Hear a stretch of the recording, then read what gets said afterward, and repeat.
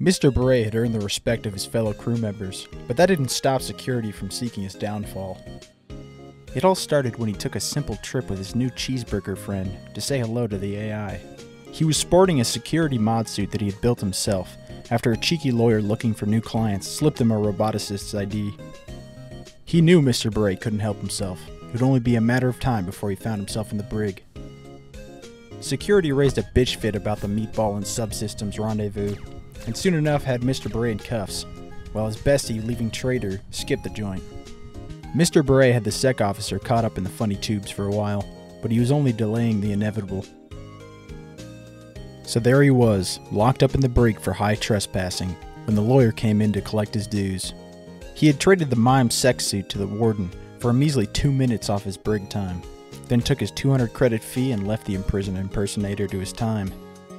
Something broke inside Mr. Beret. It wasn't the two minute brig time, it was his prized sec suit being sold for less time than it took to make it. When the warden was distracted with whatever else was destroying the station, Mr. Beret scooped up McGriff, the prison head's furry companion, and walked straight out of security, dog in hand.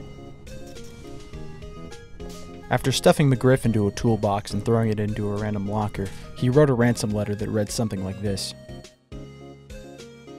Are you threatening me with McGriff?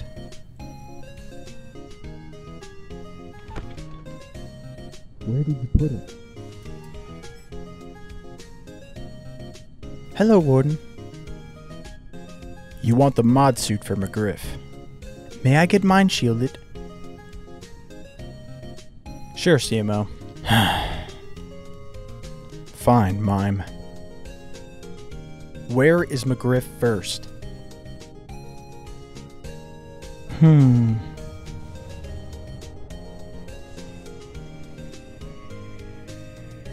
No, no. You bring me McGriff. I hand you the SecMod.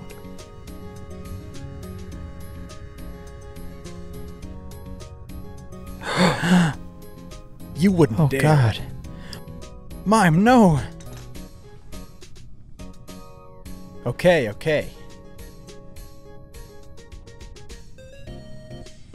Obviously, the warden was going to double cross him. Mr. Beret saw this coming. That's why he went as far as making an engineer surprise out of a loaf of pug.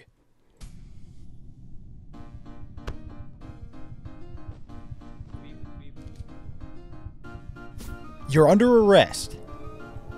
He kidnapped McGriff. Mr. Beret continues to negotiate with the warden while he's brought to the highest security cell possible to be tortured. No, no, no. I don't think you understand, Mime. I can make a field lobotomy. You tell me where he is, and I won't do it. I do not negotiate with terrorists, Mime. Where's the grip?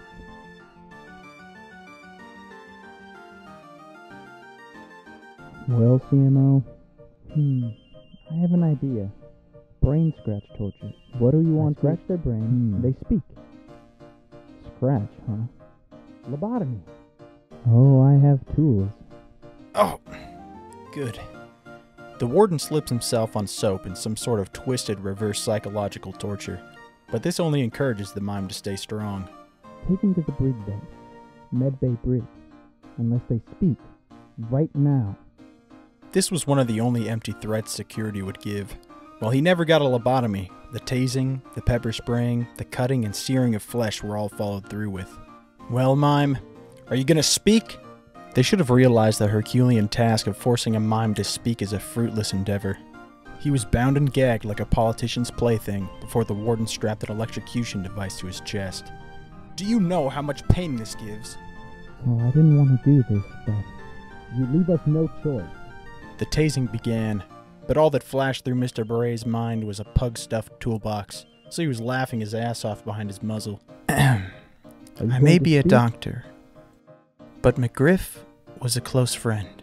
Speak or die.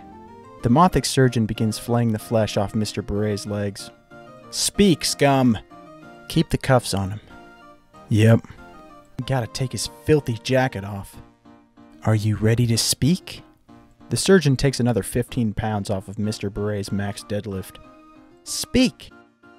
Where is he? How are you this stubborn? the warden exclaims, missing the irony of torturing a mime to speak.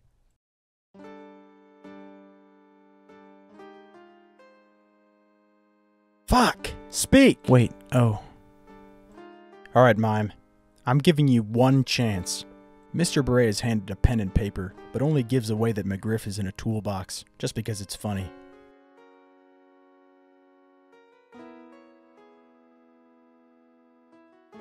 What does it say? It's in a toolbox. Mime! Oh, God. That's terrible. I know he's dead anyway. He's been in a toolbox for so long. It's okay. Where, Mime? Where? I want answers. But Mr. Beret wasn't giving any. He explained he had nothing to lose, and he had McGriff over the warden's head still. You scumbag! Who would do that to McGriff? This scum. For a sec suit. You psycho! I'm horrified. Mime, I know he's dead. He's in a fucking toolbox! So you tell me where he is now, or I'll open every single toolbox in the station. Now! I say we avenge McGriff. The CMO convinces the warden to vent Mr. Beret into space. Do it. Do it! All right, Moth. Mr. Beret was vented into space. However, he had practiced his skills just earlier today, and he was back inside in a matter of seconds. He runs into the warden again, but thinks quick on his feet and shoots himself further into the jail.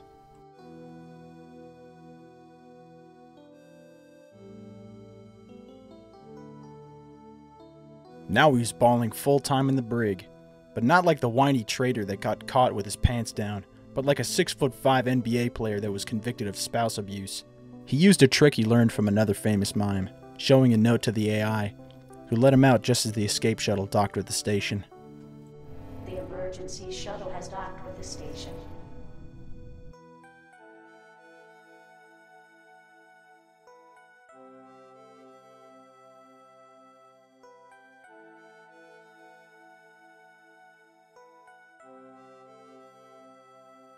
Mr. Beret found McGriff in plain sight outside of the locker and the toolbox. That's one tough pug.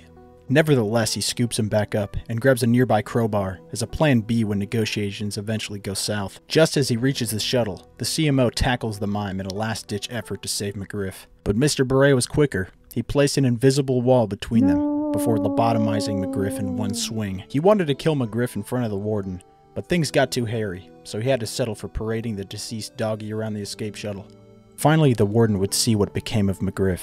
How could you? You sick fucking bastard!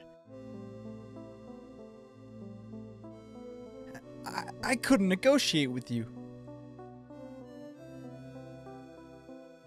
That's that's not what McGriff would have wanted. It's it's not. Bastard! He knows I should have done it. He knows. He would have been disappointed, right?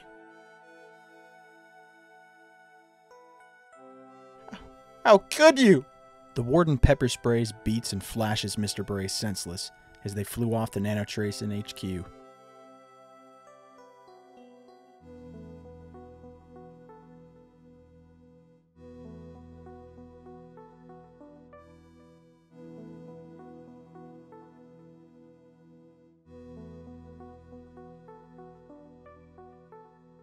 You fucker. I'll hunt your family down.